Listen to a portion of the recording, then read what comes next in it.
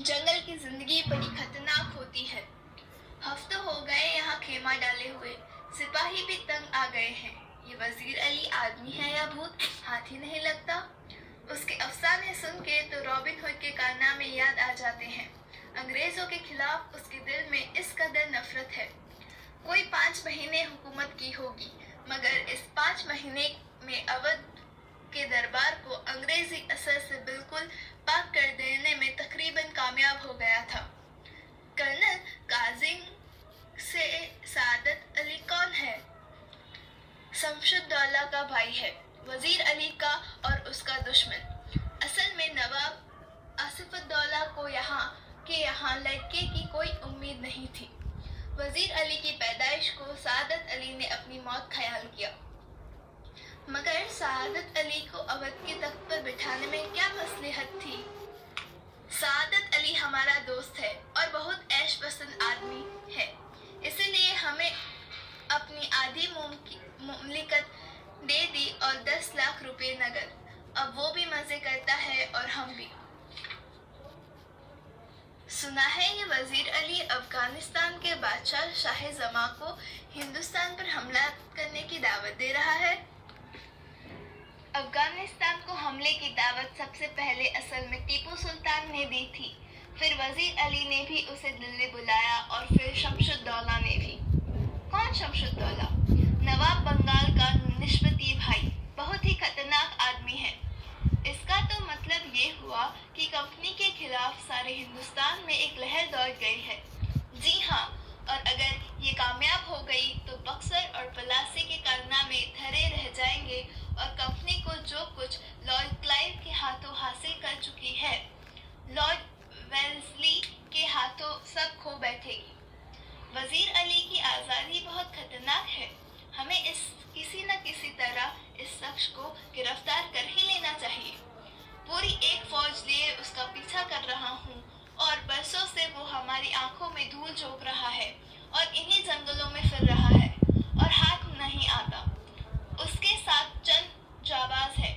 मुट्ठी पर आदमी मगर ये दम कम है सुना है वज़ीर अली जाती तौर से भी बहुत बहादुर आदमी है बहादुर न होता तो यूँ कंपनी के वकील का कत्ल कर देता ये कत्ल करके किस्सा है कर्नल किस्सा क्या हुआ था उसको उसके पद से हटाने के बाद हमने वज़ीर अली को बनारस पहुँचा दिया और तीन लाख रुपया नगद सालाना वजीफा मुकर्र कर दिया। कुछ महीने बाद गवर्नर जनरल ने उसे कलकत्ता तलब कर दिया। वज़ीर अली कंपनी के वकील के पास गया जो बनारस में ही रहता था और उससे शिकायत की कि गवर्नर जनरल उसे कलकत्ता क्यों भेज रहे हैं वकील ने शिकायत की परवाह नहीं की उल्टा उसे बुरा भरा सुना दिया वज़ीर अली के तो दिल में यूँ भी अंग्रेज़ों के खिलाफ नफरत कूट कूट कर भरी है उसे खंजर से वकील का काम तमाम कर दिया और भाग गया अपने जानिसारों सम... अपने जानिसारों समेत आजमगढ़ की तरफ़ भाग गया। आजमगढ़ के हुक्मरानों ने उन लोगों को अपनी हिफाजत में घाघरा तक पहुँचा दिया।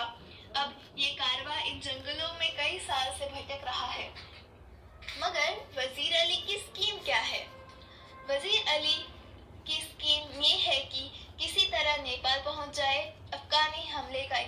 करे, अपनी ताकत बढ़ाए, सादत अली को उसके पद से हटाकर खुद अवध पर कब्जा करे और अंग्रेज़ों को हिंदुस्तान से निकाल दे। नेपाल पहुँचना तो कोई ऐसा मुश्किल नहीं, मुमकिन है कि पहुँच गया हो। हमारे फौजे हमारे फौजे न, और नवाब सादत अली खां के सिपाही बड़ी सख्ती से उसका पीछा कर रहे हैं। हमें अच्छी तरह मालूम है कि वो इन्हीं जंगलों में है।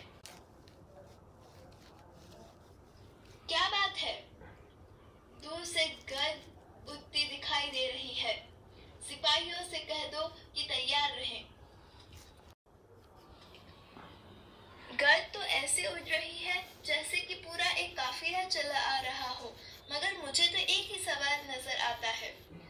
हाँ एक ही सवार है सरपत गोला गोला दौड़ाए चला आ रहा है। और सीधी हमारी तरफ़ आता मालूम होता है। सिपाहियों से कहो, इस सवार पर नज़र रखें।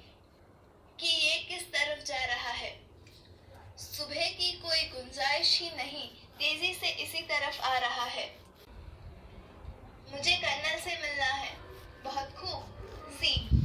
हुजूर। तो सवर आपसे मिलना चाहता है। भेज दो।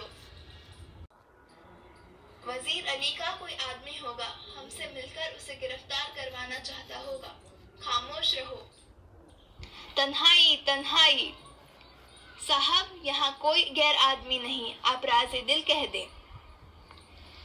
दीवार, हमकोश दारत तन्हाई। आपने इस मुकाम पर क्यों खेमा डाला है? कंपनी का हुक्म है कि वज़ीर अली को गिरफ़्तार किया जाए। लेकिन इतना लाल लश्कर क्या मायने? गिरफ्तारी में मदद देने के लिए। वज़ीर अली की गिरफ्तारी बहुत मुश्किल है, साहब। क्यों? वो एक जाबाज सिपाही है। मैंने भी यह सुन रखा है। आप क्या चाहते हैं? चंद कारतूस। किस लिए? वज़ीर अली को गिरफ़्तार करने के लिए। ये लो दस कारतूस। शुक्रिया। आपका नाम? वज़ीर अली। आपने मुझे कारतूस दिए, इसलिए आपकी जान बख्शी करता हूँ। कौन? कौन था?